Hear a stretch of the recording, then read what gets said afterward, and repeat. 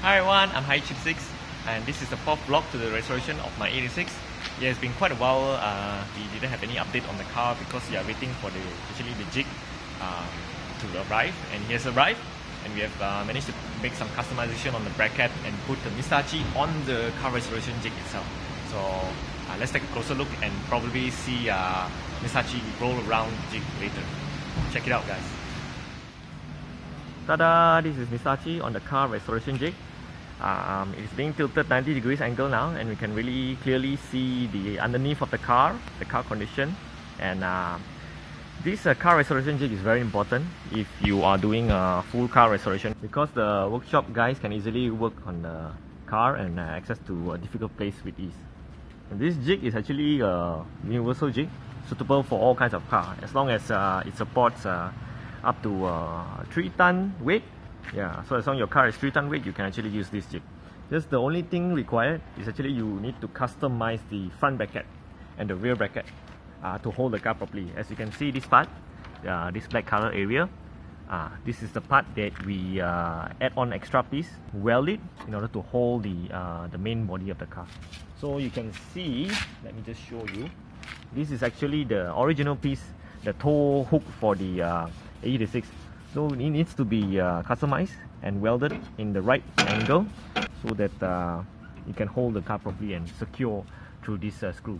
So same goes for the this this is the rear side. This is the rear side. Same goes for the front. The front part you need to uh, yeah this one is uh, it comes together with the car so it welded onto the, the bracket and screw onto this. Yeah so so later we'll be replacing this with a new piece of uh, unit and uh, we'll put this back. So this is how you uh, use this uh, uh, car restoration jig with together with uh, if you have your own car you want to use this restoration jig you need to do this kind of customization.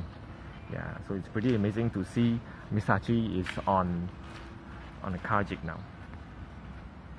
To CK it's difficult to put the car onto the jig uh, as it requires him to find the center-gravity of the car so that it can be rotated easily without uh, a weight falling on one side.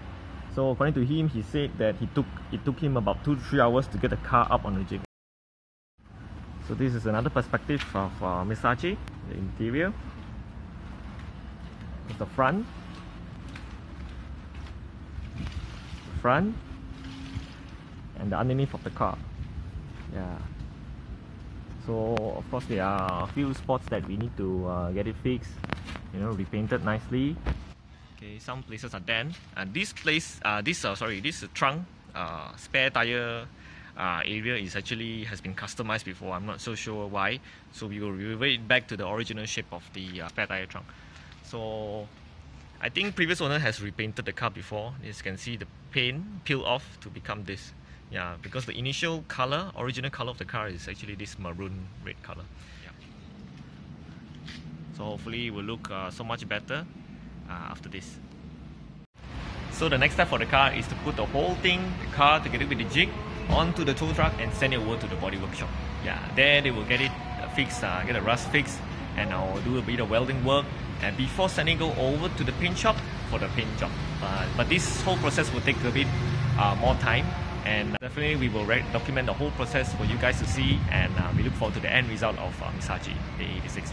Thank you guys for watching and hope to see you guys in the next video. Don't forget to check out uh, Hayashi86 on uh, Facebook and Instagram. Thank you. See you. Bye bye.